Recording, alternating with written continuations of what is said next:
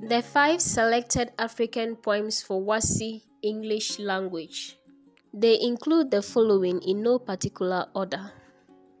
The Weaver Bird by Kofi Awoonor. An African Thunderstorm by David Rubadiri. Night Rain by John Pepper Clark. Once Upon a Time by Gabriel Okara.